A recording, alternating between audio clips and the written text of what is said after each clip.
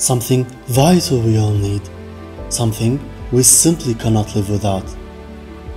Across the vast diversity of languages spoken by the billion people on our planet, the pronunciation is nearly the same, in line with its universality.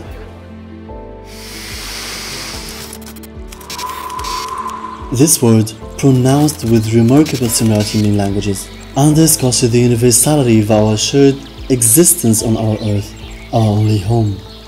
Why this world remains constant, the quality of the air we breathe does not.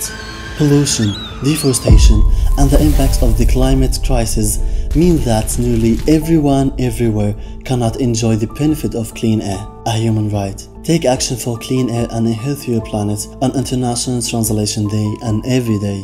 Visit unep.org for science and more.